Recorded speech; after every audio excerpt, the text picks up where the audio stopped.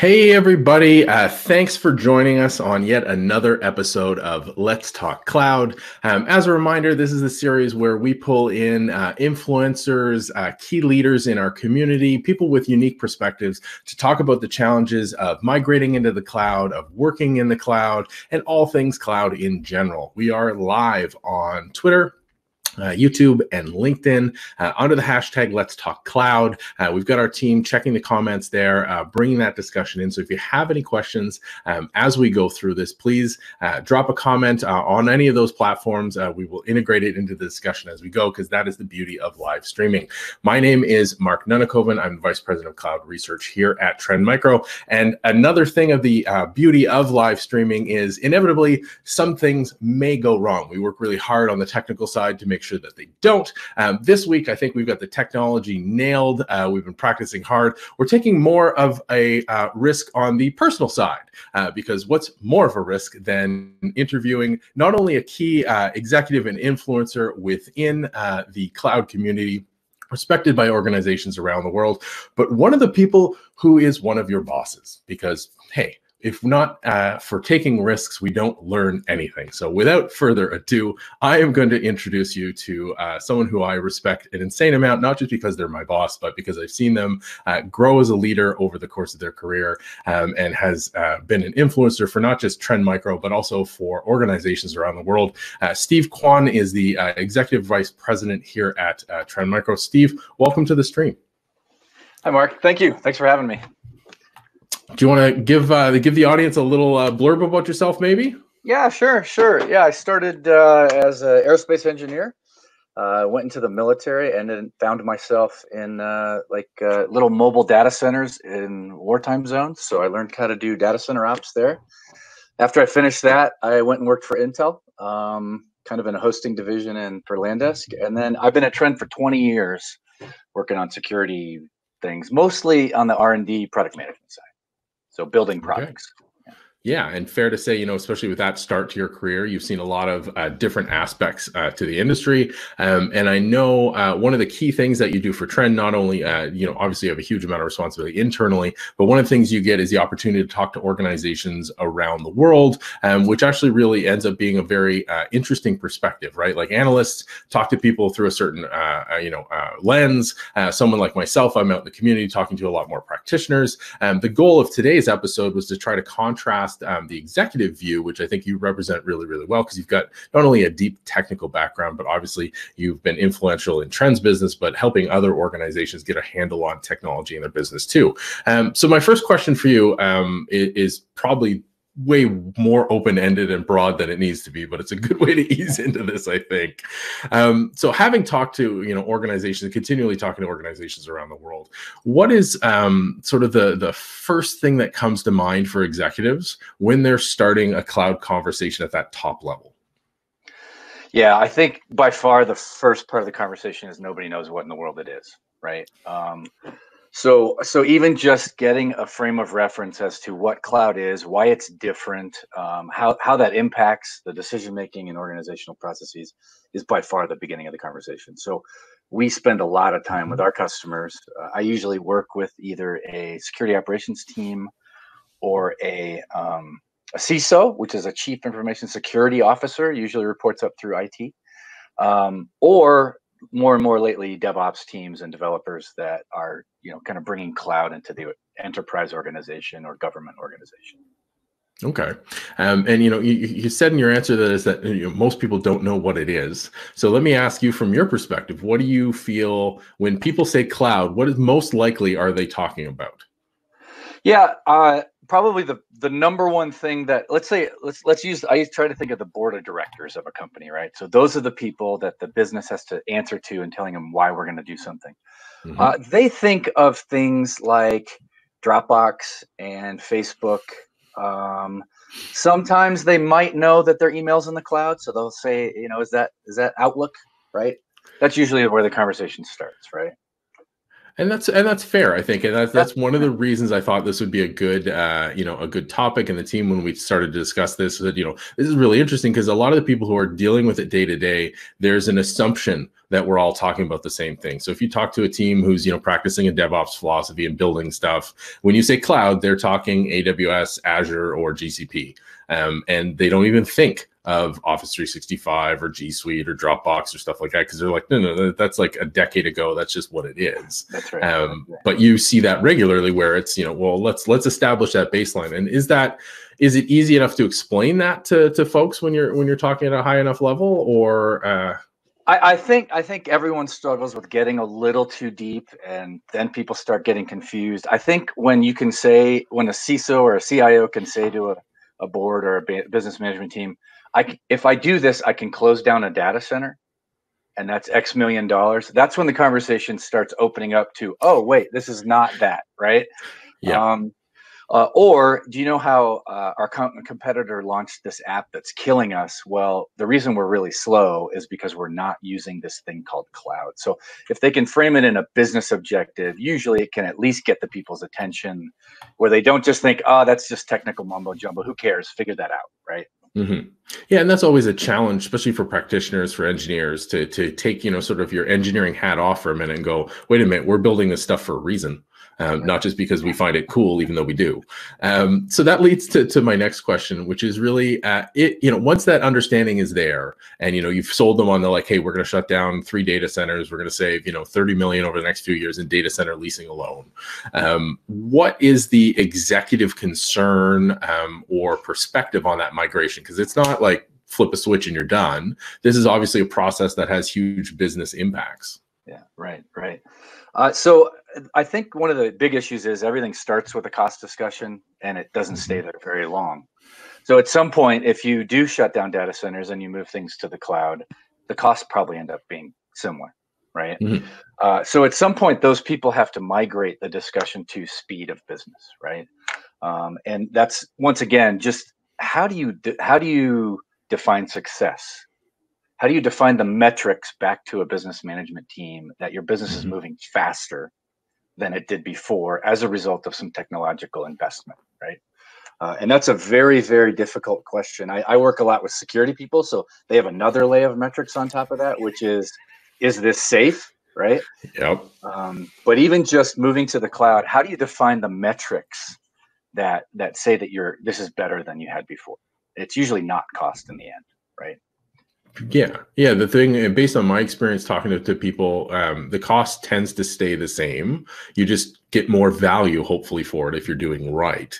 Um, but how, you know, especially given your your perspective there, given and you know, I like to speak plainly in general, but given the bad track record of IT on delivering value, um, right? I mean, through the 90s and the early 2000s, IT projects only had like a 32% success rate, right? It's just ridiculous. Given that track record, how does the rest of the executive not sit back and go, okay, sure thing there, guy. Like, yeah, technology is going to save us money, it's going to make us move faster because it's been a cost center for so many years. How does that conversation go? Yeah, not not well. It usually doesn't go well, right? yeah, fair. uh, it's good it, it is, it's very hard to prove. Very very hard to convince people that that you know the the last big project I wanted and the 24 before that. This one's different. This one, it's really going to work, right? Um, you know, and even even I we have a conversation a lot about you know as as people move up the stack and and I know this is a technical audience, so I can probably go here as people start mm-hmm. talking about containers and Kubernetes and, and moving up, the, the, the word outsourced comes up as a word that mm-hmm. helps describe why we can move faster because we're outsourcing the pieces to Amazon. Once again, that's from a technological perspective, that seems uh, pretty logical. The problem mm-hmm. is the outsourcing industry also has a bad track record in IT, right? So yep. for for business people going, "Hey, I used to pay a billion dollars to some system integrator to do this for us. You're just telling me I'm just paying a billion dollars to Amazon? Is that mm-hmm. is that the difference, right?" Very very hard to convince that it's a, it's a new conversation right?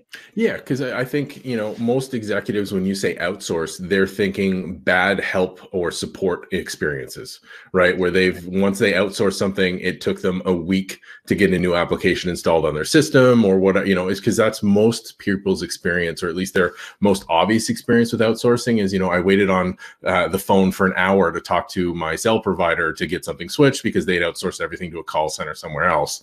Um, but you know, it's it's at least a common term that people understand because you know, you're the outsourcing here is really a, a streamlined interface through an API for a set of commoditized services. But that's not exactly, you know, doesn't flow off the tongue in a business conversation. I mean, you said it very eloquently, but yeah, it usually doesn't doesn't work at coffee before the board meeting, right? Yeah. Yes. Fair. Um, so let's let's look at it from from a bit of a different angle. Um, for practitioners, right? For engineers, when we're sitting here looking at this stuff, it's a pretty solid technical argument, right? We get to focus on what actually matters as opposed to this undifferentiated heavy lifting, right? That's a term we use all the time. Um, so it's really a win discussion. Um, is there something from the executives like if I come to you and go like, "Hey, I'm going to roll all this stuff out because it just makes perfect sense. I get to focus on this. I get to use all these new cool new toys." Does that raise alarm bells at the executive level? Um, and you know, because I'm just assuming it's a win, is there risk factors that uh, engineers don't necessarily see that executives do? Yeah, I, I think, and, and this is a little bit of the struggle with new technology is one is we need to understand the executives, including myself, have really no discernible skills whatsoever, right? So we've been managers for so long, like the ability to, to impact something is difficult, right? So everything we do is enabled through groups of people, right? Yeah. Um, and so the ability to help understand what your boss and your executive need in terms of how does the how do we measure what matters? Uh, how do we measure um, our competition uh, in terms of let's say it's application delivery? Are we mm-hmm. delivering value to our customers faster than the competition? Ultimately, we have to measure those things to get the business outcome we want. And if the engineers and, and R&D leaders aren't couching things in those terms, uh, it's very difficult to rationalize the project in a new or exciting way. Mm-hmm. That answer your question? Yeah, yeah, I think it does because um, so a lot of that what you just said sort of echoes, and I know, or at least I hope you hear this from security teams you're talking to and CISOs you're talking to. It echoes the similar challenges that security has, right? And that security comes and talks about threats and exploits and all of these metrics that matter to security folks. And if I go to a security conference and say like, "Hey, I'm talking about this latest zero day, and here's the the uh, CVSS score, and here's this, that, and the other thing," that's all in a language that security people understand. Uh, but as soon as you go outside of that security bubble, everyone's like, what? You want us to to jump drop everything and jump on something for why? Like what that doesn't make any sense. Yeah. Yeah, that's exactly right. And the the cloud people have their own language that no one understands as well, right? And and you speak it. um, and so I, it's just understanding that that that two way street. You know, like um, understanding that the technology itself is not uh, a business outcome uh, yeah. the value to the customer and the speed in which that's delivered and the and the experience the customer has is the outcome um, and that's mm-hmm. the whole justification for the discussion right?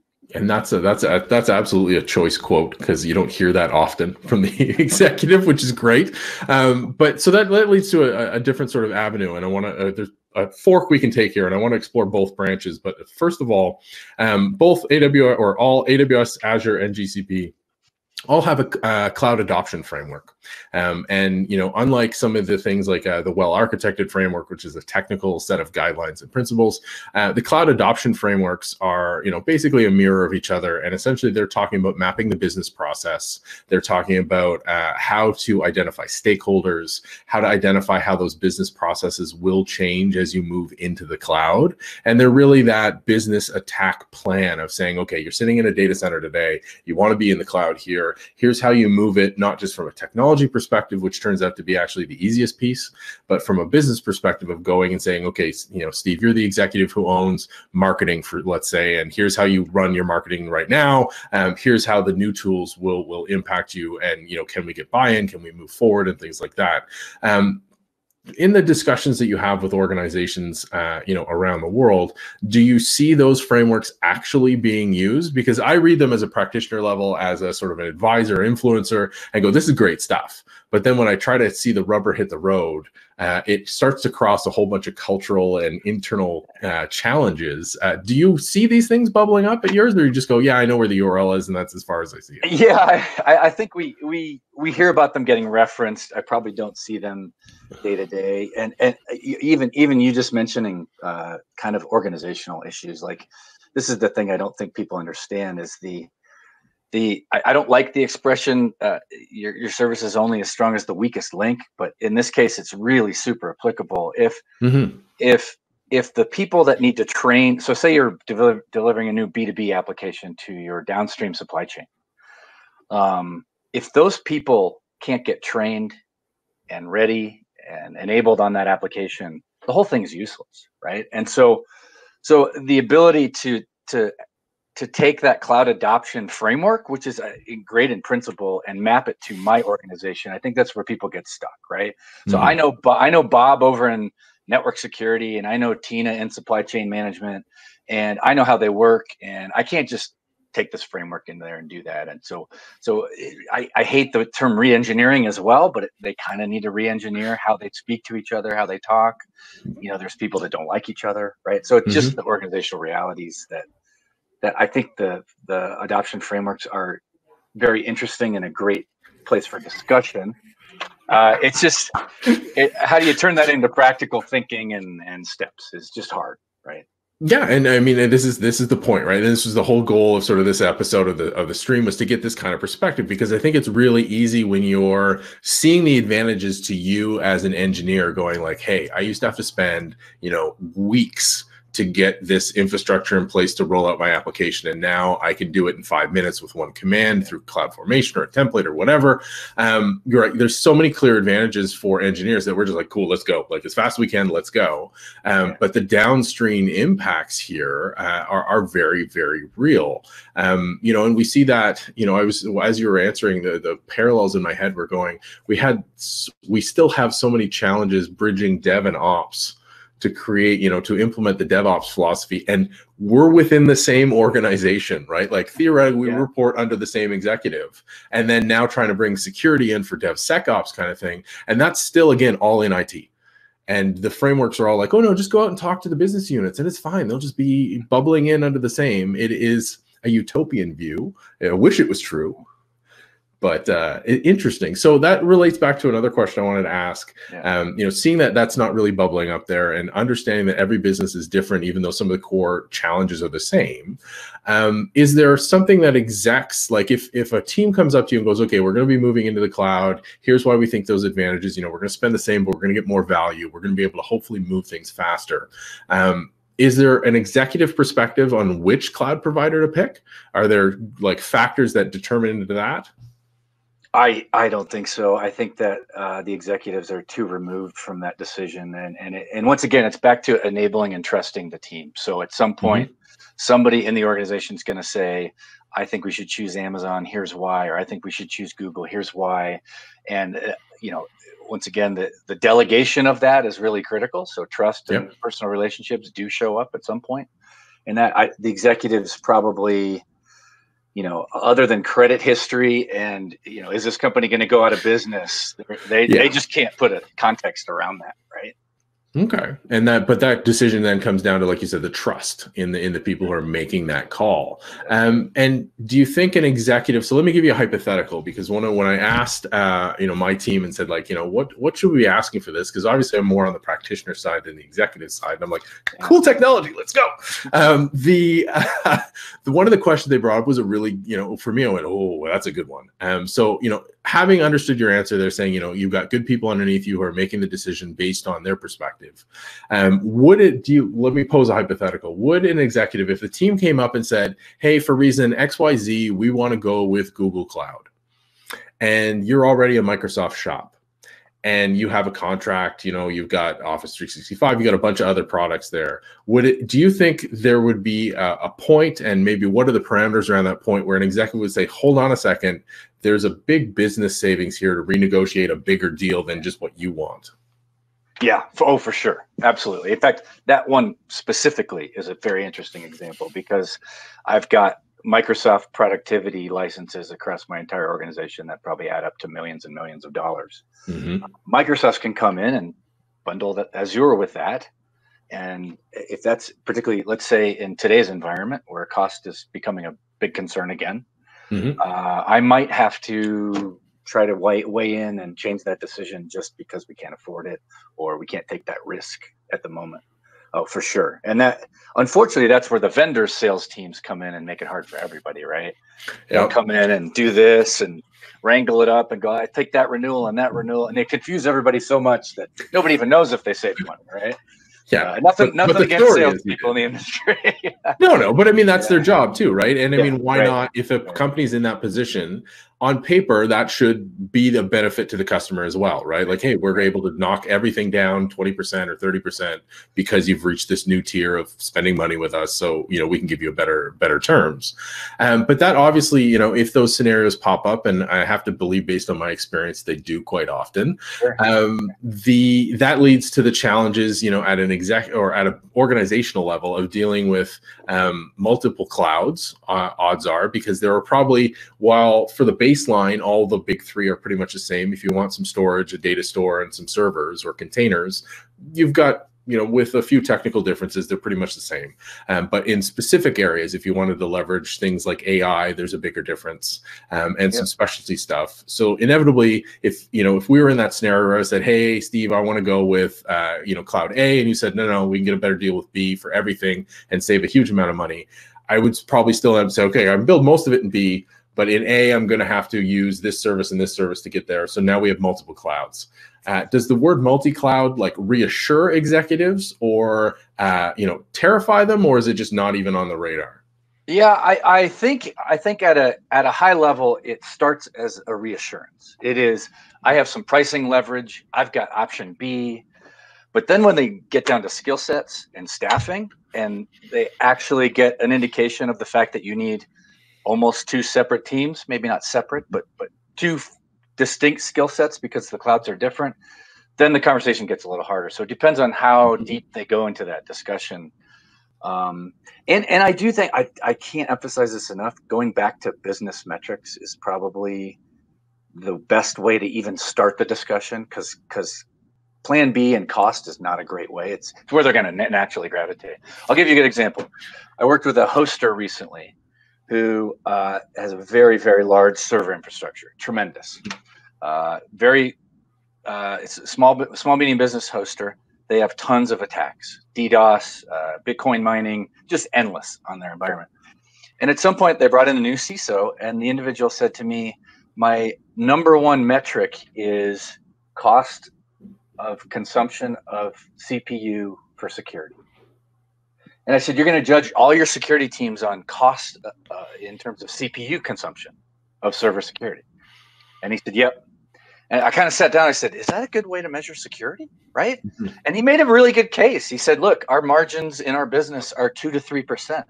Uh, if you come in and you take 20% of a server to do all the security functions you have, you've possibly put that entire service out of business already.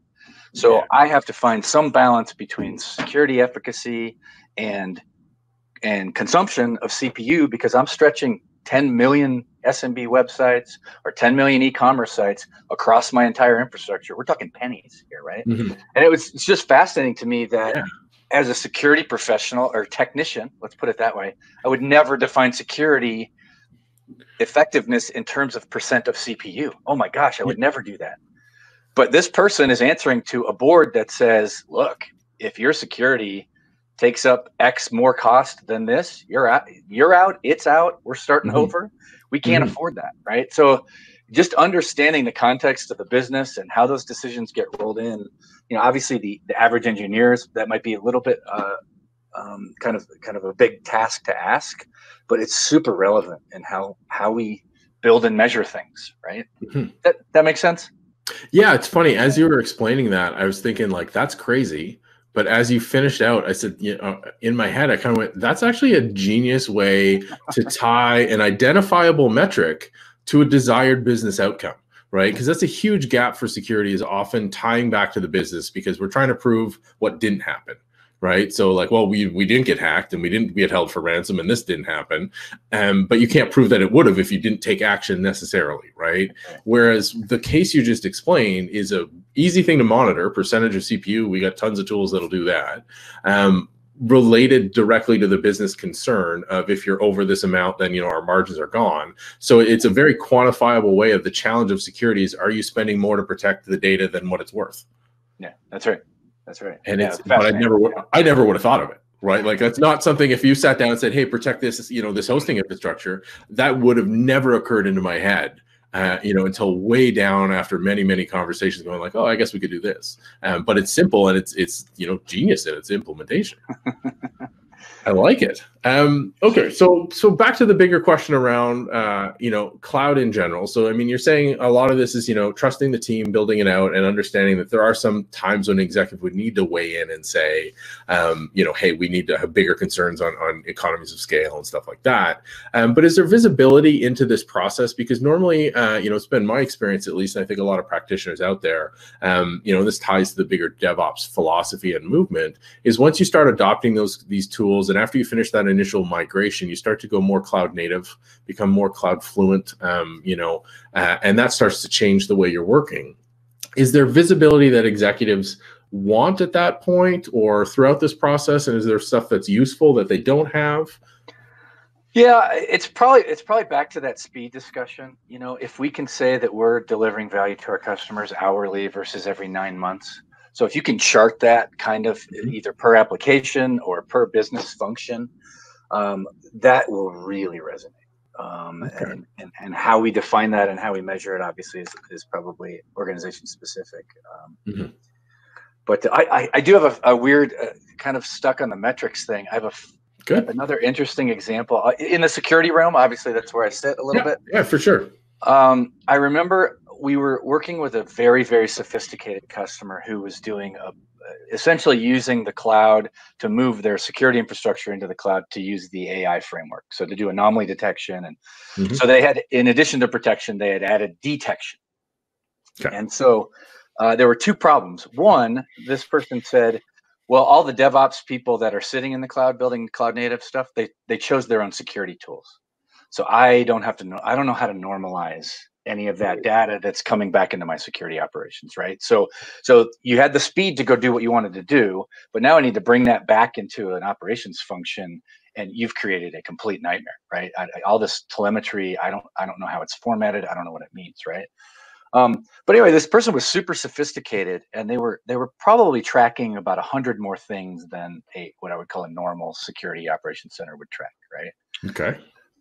At some point uh, th- they had to report back to the board as to their risk management, uh, how how risky they were, and and this person brought a lot of data, and they said, hey, look, we've got this and this and this and this. Well, a couple months into that, one of the board members leaned over to the CIO and said, you know, I was sit on some other boards, and they get attacked way less often than you guys do. uh huh.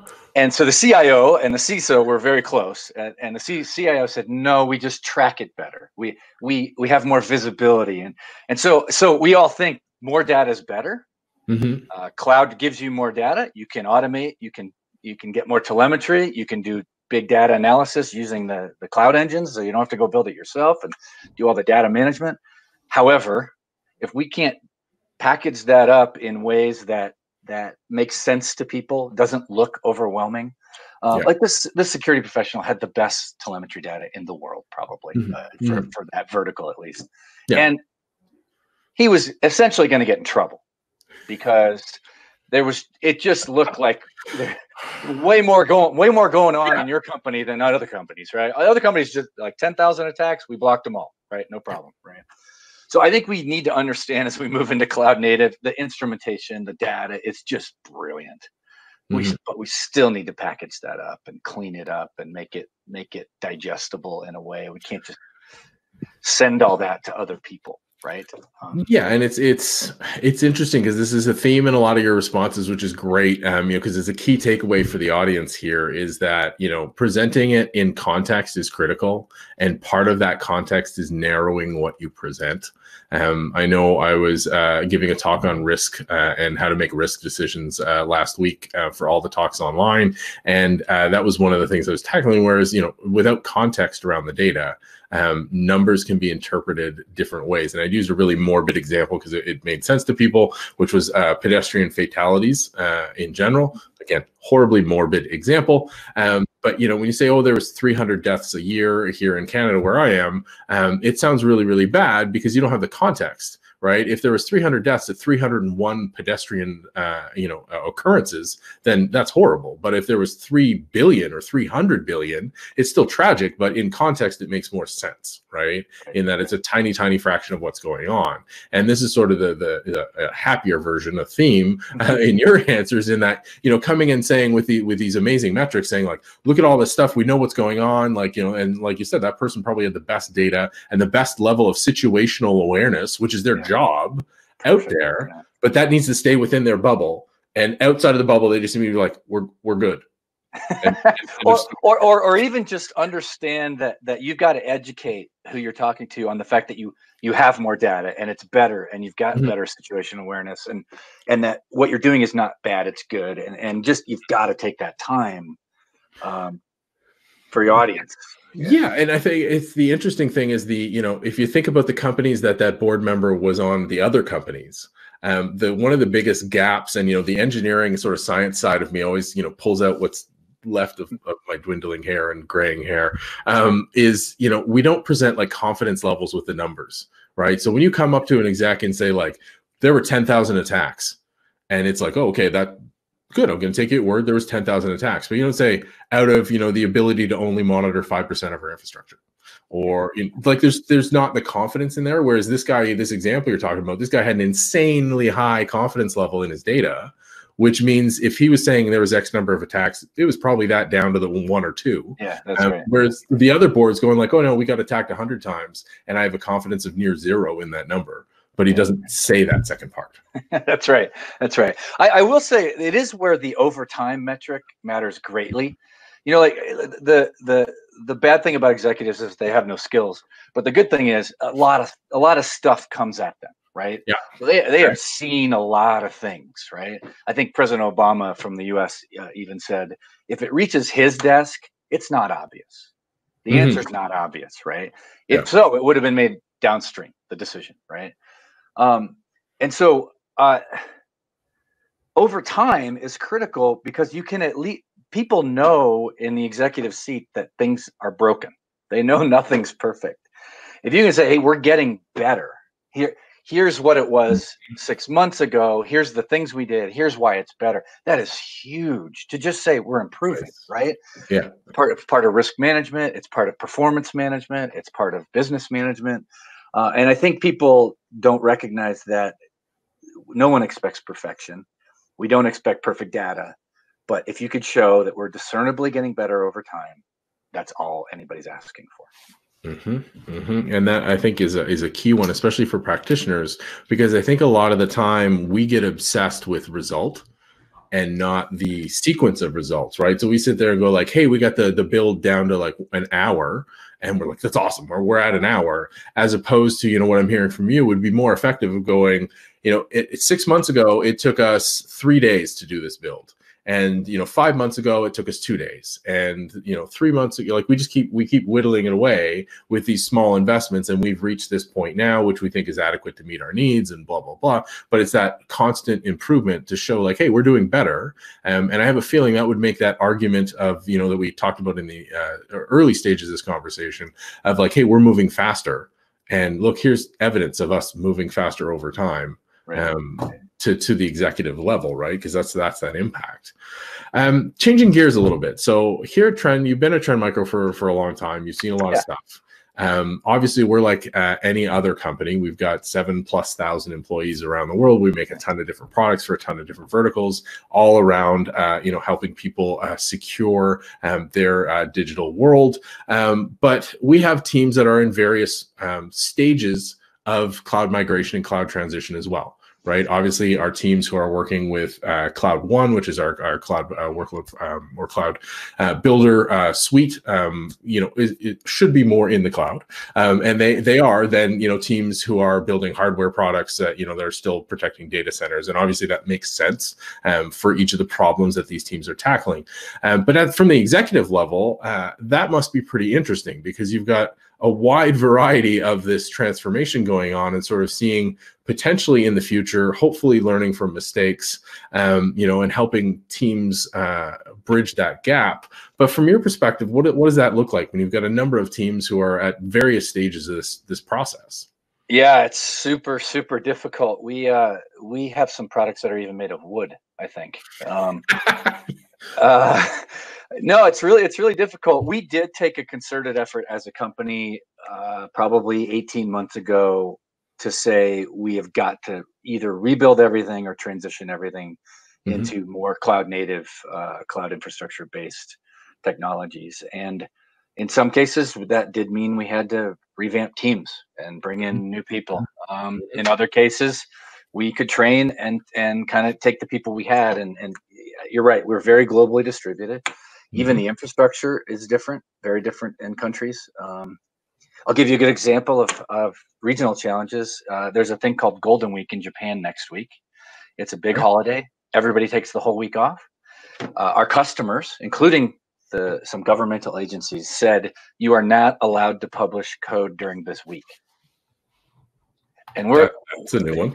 Yeah, one of our applications is publishing about every two hours and we said we can't do that. And so we're in a negotiation on you know how how so it's not just our employees it's also our customer base. They mm-hmm. they they can't handle us publishing things every week and wondering if it's going to break or every hour and wondering if it's going to break. Um, so it's very very difficult to manage. I um you know it's it's it, it's super interesting that it's it's it's really hard to get people to understand what devops even is. Um you know and then to bring other functions into that is is super super challenging. For instance i had somebody in one of our app teams the other day say to me i have to learn about security but the security people don't have to learn about devops. Is that fair? Right? That's a great discussion at an organization right? Mm-hmm. um, uh, are we both learning each other's jobs? Um, and so uh, you know I, I, don't even know if i'm answering your question but uh, like it's how do we stuff, don't worry yeah how do we deal with that transition you know we we have personally added uh like performance metrics to everybody's performance reviews that are cloud oriented so okay. say you're an aix developer you still carry a, a, aws certification objective or something like that just to mm-hmm. bring the whole company into the new world um you know but we have hundreds of thousands of customers on legacy infrastructure, and uh, they're trying to move too. Um, it's it's not it's not easy. It's not easy. No, and I mean, and it makes sense. And that's the thing that always gets me is that nerd me is always like, let's go super cool, cutting edge all the time. Um, but you know, I've been eh, you know practicing for long enough to realize like it, it's a process, right? And it takes time. And even though there are cool technical reasons you may want to do something, the business reasons run counter to that and should beat the technical reasons most of the time. Um, but one of the things that I think might bubble up to the executive level that you know within this context of knowing that Trend's got a whole bunch of teams, um, you know, and you've got teams directly in reporting into you that are at various stages of this.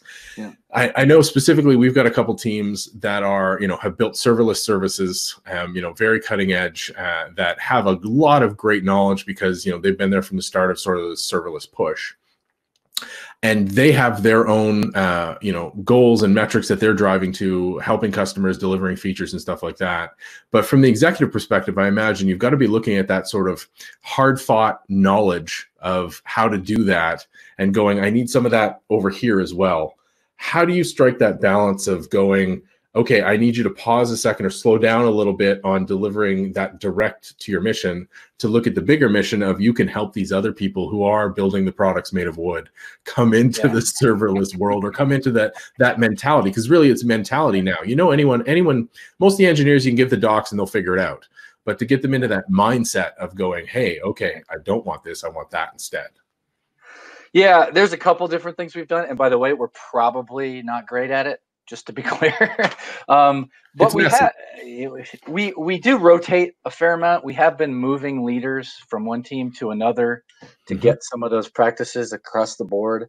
We've brought in external people. We actually work with the Azure team greatly. One of their one of their original uh, Azure developers kind of created an internal practice at Microsoft to transit. They transitioned essentially sixty thousand people to kind of a DevOps and they they did a really good job. And so Yeah. we brought we brought him and his team in to help us.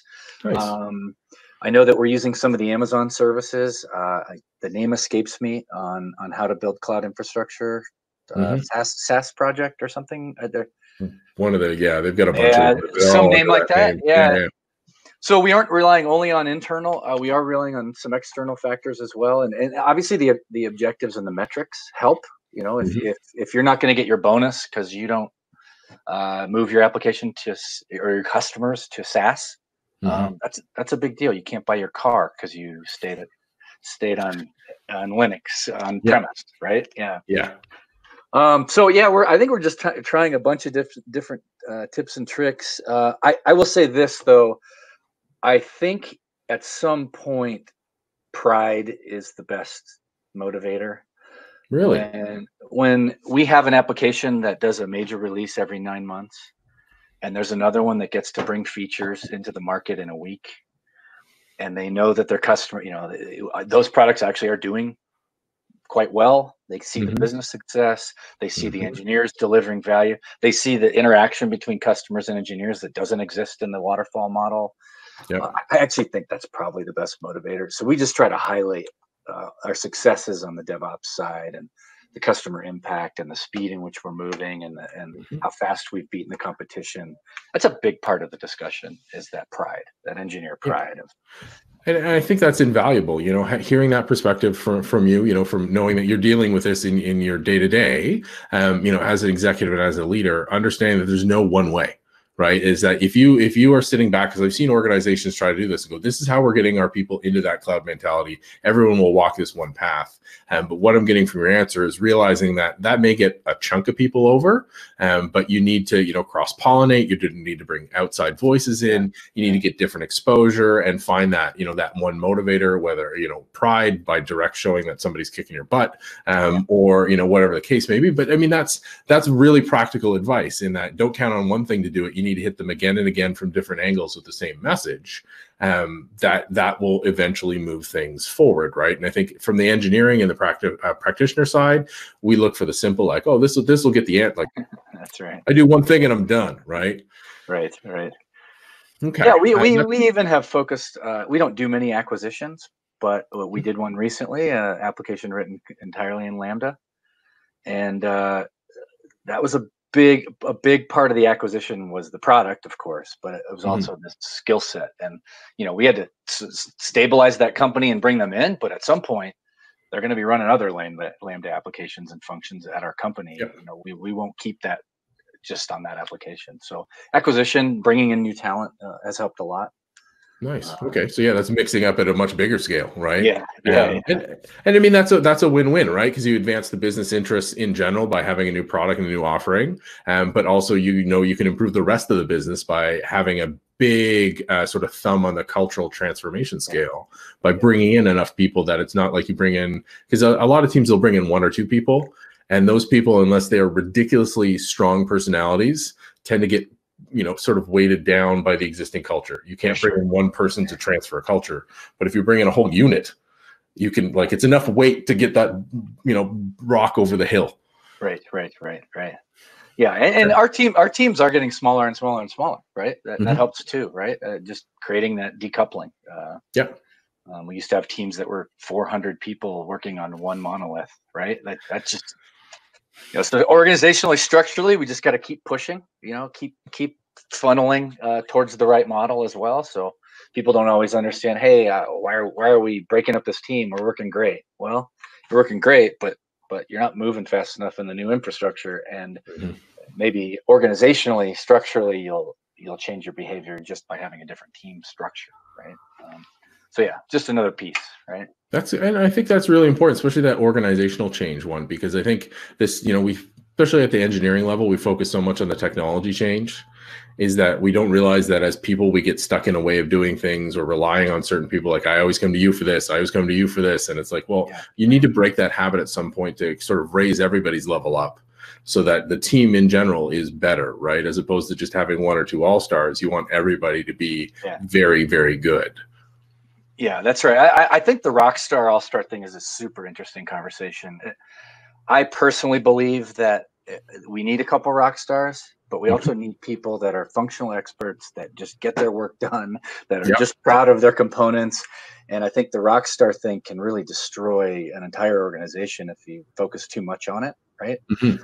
Um, so we do need these brilliant security architects or cloud architects or you know people that are just brilliant in cloud native infrastructure delivery or AI. Mm-hmm. Uh, but we also still need to build you know front end interfaces and you know that that can be in lambda it doesn't it, the technology doesn't have to be that part mm-hmm. but we but it can't all be architects yeah yeah i mean that's a good point right because it's there is a common belief especially in a lot of startups out there is just let's just go hire all the best people we can yes. and there's no thought to team balance right? There's no thought to that. Uh, let's get a strong team out there, as opposed to let's just hire the, you know, we can five, we can afford five of the best people out there. Let's just buy them and let's get them on board. And then we have a whole bunch of people who are. I'm a basketball guy, so I think keep thinking like we've got a few like Michael Jordans, then a whole bunch of Washington Generals and it's like you know the guys who always play the globetrotters and have never won a game in 50 years. And it's like that's not a good balance. Like yes right, you know, right. michael jordan's the best ever but you have the worst ever beside him. You need a whole balanced team where everyone contributes right? And contributions come in different ways Right. Um, so let, us shift gear here, uh, shift gears here for a second. One of the sections we always like to do on Let's Talk Cloud um, is that we like to do a little thing called rapid fire. So I will fire off uh, a couple, you know, maybe controversial, maybe push the edge a little bit. Uh, I need you to pick one or the other, no explanation given, and we'll circle back uh, a little bit okay. afterwards. Okay. Right. Um, so for DevOps, uh, is this a real movement still, or has it been completely co opted by marketing? Real. Okay. Uh, biggest roadblock uh, to going cloud native, so not just forklifting, going actually cloud native, is it techno- technology debt or cultural problems? Cultural. Okay. Uh, leading a big tech organization, sweat the details or just let them run with it? Let them run with it. Okay, I'm writing that one down for personal. um, the, uh, Darn, I'm going to regret that. Yeah, I told you they'd be a little controversial. Um, so, last rapid fire here: uh, Shadow IT. Is this where real innovation happens, or is it a bigger problem than it's worth? Innovation. Okay. Um, so let's circle back to that one. Why uh, do you think shadow IT? So a lot of the times when you hear about shadow IT, so organizations outside of the central um, main IT org doing stuff, um, most of the time when that's framed, especially uh, you know in blogs, in articles and stuff, it's normally framed as a bad thing. Why? You know, you said uh, you thought it was more on the innovation side. Why, why do you think that? Yeah, I, will probably I'll probably give two different reasons. One is we originally talked about way early at the beginning of the hour. Uh, I believe that the BUs that spin up applications in cloud native uh, infrastructure or whatever infrastructure they use, uh, Shadow IT, uh, it, they're doing it because of a business problem that they can see that no one in centralized IT can see. And so I think their motivation is way closer to the success of the customer and the business, right? Mm. How they go about it is very dangerous sometimes, but the, the, their impetus, the driver for it, I believe, is much closer to the success of the organization than a centralized framework uh, sitting in IT or something. Yeah, and I, I think that that holds up. Um, you know, a lot of the time, if we take an easy shadow IT example, when like a company, uh, business units start to adopt a tool like Dropbox or Box, right, to share files, um, you know, a lot of the time it's because central IT didn't have something, or it was a horrible experience, or just didn't meet the business need. Um, you know, and they're just trying to solve a problem. I, I, found that often in my security career, where people aren't breaking the rules because they want to break the rules. It's because they're trying to get something done. Right. Right. Yeah, I, I um, believe that very strongly. Yeah. Yeah. And so we've got a question uh, from Bill on LinkedIn. Uh, it's a good one, um, especially now that we're kind of winding down this conversation here. Yeah. Is uh, so he's asking what the future of cloud is in your opinion. Is it going to be a big focus on AI and big data? Um, and then uh, what do you think uh, is going to be sort of the key segment uh, or vertical that's going to be pushing in that direction? Yeah, I, I do have some strong opinions on this. I could talk a couple hours on this. I'll give you the shortest answer I can think of. I think it's AI driven, and I think the vertical or sector that's going to benefit the most from that is is the IoT, IIoT, industrial IoT, uh, those applications. I I think okay. they can't afford to build all that themselves, and the whole system works if you've got devices connecting to a cloud service where the data set is the biggest data set in the world, and there's a mm-hmm. cloud provider that can write the the engines on the ML AI. Even if it's something like uh, SageMaker, where it's just a framework and the customer goes in and writes the algorithms. Um, but I believe that that's the game changer with you know, obviously married with 5G, right? Yeah, yeah. So to get all those devices to be able to connect into that back. That's right. That's um, right. And and do you think that's simply because of so would you think that's leaning more towards that kind of a future because of the lack of skill set around AI, or because of the complexity um, in setting up that those stuff to run a model? Like there's an insane amount of stuff underneath uh, that needs to be in place in order to run a series of models. Um, so is it the technology side, the lack of the skills, or is it a combination that you think is going to drive us there? Yeah, pro- probably a combination, but mostly mostly skill sets. Yeah. Okay you know if i if i if i'm running i worked with a transportation company in auckland where they had automated the whole or uh, transportation division of the government. Where they had automated the entire public transportation infrastructure. So you had one one uh, one app that did phone taxi uh, everything you got on uh, and they okay. were building they were building this infrastructure. And, and they said yeah the technology we know what the technology is.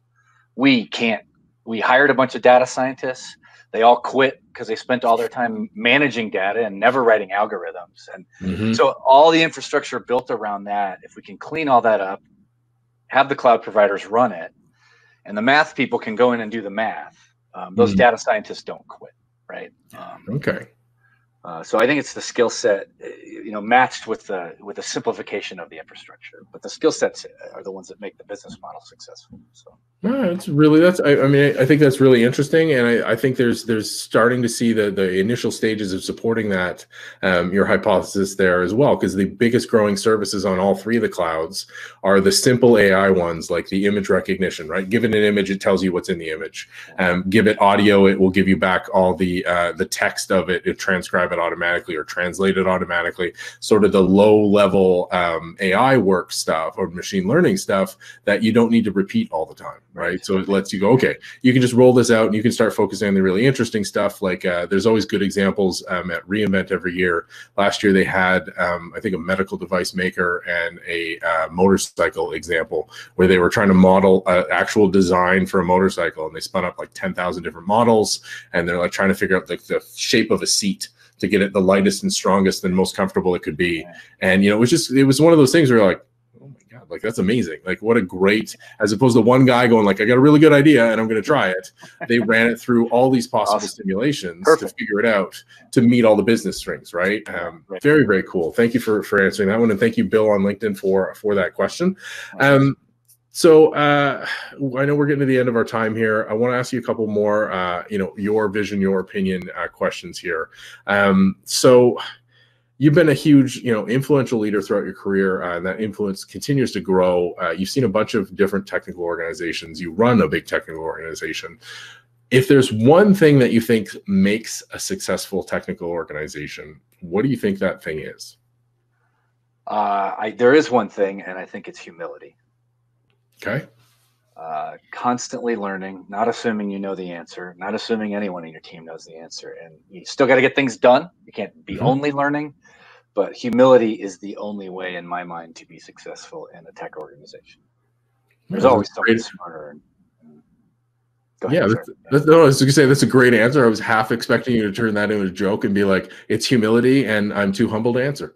Um, the uh, but I mean that's that's that's an excellent excellent thing because I think a lot of the time uh, you know everybody's seen it. And this goes back to the rock star comments where somebody's ego gets in the way. Um, and you know they think they know everything about one particular technology and they get that that's the expert for that and you know having humility as an individual as an organization uh, enables that constant learning right? It enables that innovation and, and, learning from people and realizing that everyone has a unique perspective. Um, that's a fantastic answer. Uh, so last last one, um, and this right. comes back to the heart of heart of the matter of what we're talking about. So cloud opens up a ton of these possibilities um, for the business, for the technology side. Um, from the engineering side, we see that the possibilities of all this cool tech, of cool ways to do it. Um, you know, we saw it with a massive rush for Kubernetes. Anyone who was running one container all of a sudden had Kubernetes because it was cool, and you're like, you have one container container. You don't need this infrastructure, um, you know. But there are cases when you do. So so there's a very common habit of people sort of on the technology side and the engineering side of running away down the realm of possibilities to the point where it may get dangerous um, you know, in that they're racking up technical debt or they're they're kind of outpacing themselves. Um, how do you strike a balance between moving things forward on the technology side, but keeping the business growing and keeping that the, that aim on the business?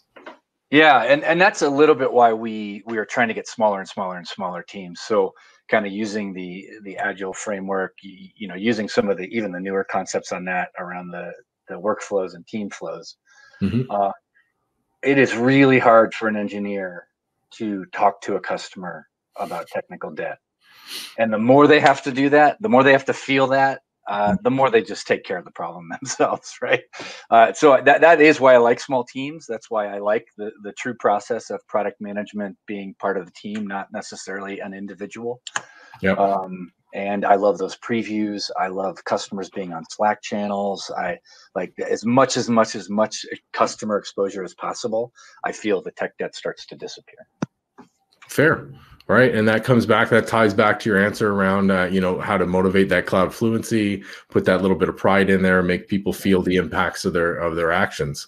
Um, fantastic, uh, Steve. Thank you very much for taking thank the time. I know this has been much. great for me. This has been great for the audience. Um, thanks again. Uh, very much appreciated. All right. Thank you, Mark. Thank you, everyone. Take care. Stay safe.